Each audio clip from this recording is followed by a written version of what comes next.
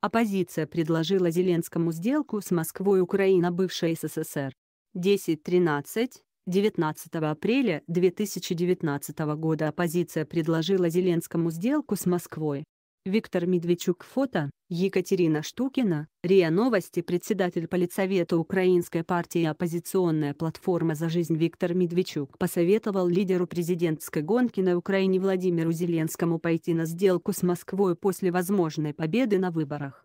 Интервью с украинским политиком опубликовано на сайте Reuters. По словам Медведчука, в случае если Зеленский пообещает закупать газ напрямую из России, а не через европейские компании, Киев сможет не только получить хорошую скидку, но и вернуть контроль над территориями ЛНР и ДНР. Политик утверждает, что для достижения соглашения потребуется несколько месяцев и еще около 6-8 месяцев на его полную реализацию.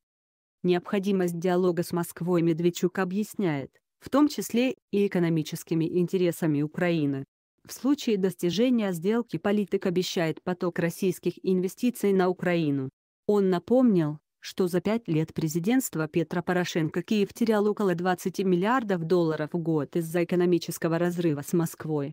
Мы не говорим, что Россия и Украина примечание ленты.ру должны снова целоваться или обниматься друг с другом.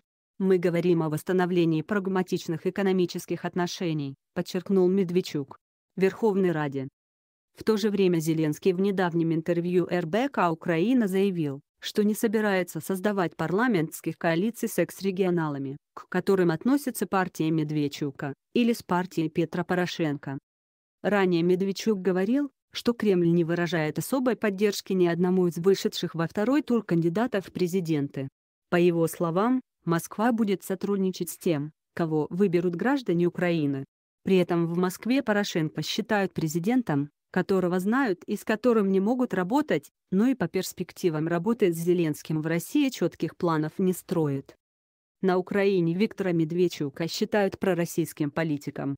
В начале февраля в отношении Медведчука было начато расследование по делу о госизмене. Кроме того, в разгар президентской гонки он ездил в Москву на переговоры с российским премьером Дмитрием Медведевым, что вызвало волну расследования на Украине. Второй тур президентских выборов на Украине пройдет 21 апреля. Согласно последним рейтингам, около 70% определившихся с выбором и собирающихся голосовать украинцев намерены голосовать за Зеленского. Что происходит в России и в мире? Объясняем на нашем YouTube канале. Подпишись.